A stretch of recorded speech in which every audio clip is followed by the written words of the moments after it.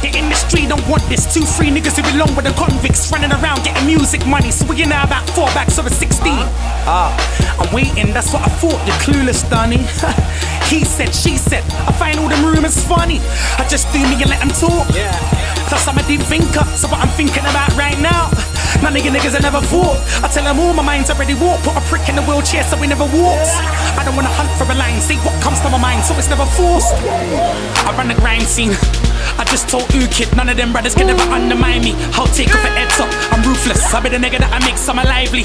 One R6, two shooters everywhere. Can't take this brother lightly. I can make one car flip if I use this. Use your brain. Who's to blame, or are you just absolutely stupid?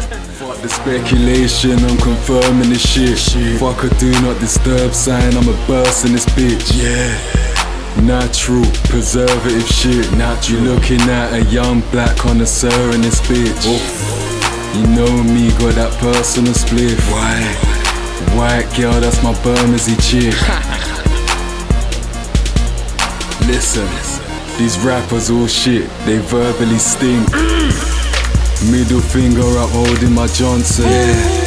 These white niggas, they know that I stomp them. Police, they know me as Thompson. They know me in UK, but also in Compton.